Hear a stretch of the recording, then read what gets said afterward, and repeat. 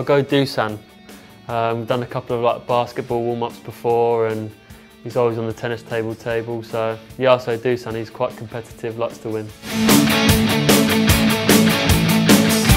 Cedric, Cedric 100%. Um, every day I'll go through to the treatment room, come back and he'll be, he'll be there doing something to his hair. So uh, yeah, I'll go Cedric.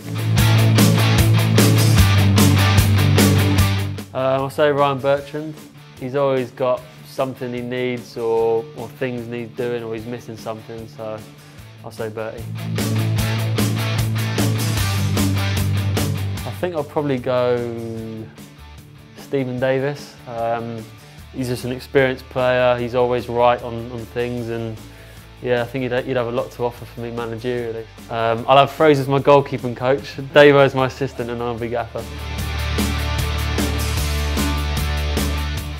Favourite goal? I'll say um, Gabbiadini's uh, second one at Wembley. Um, I think because we came out in the second half and obviously we were we were chasing the game and uh, I think the quality of the goal was was really good, but just the whole atmosphere and the occasion. I'll say uh, I'll say Manolo.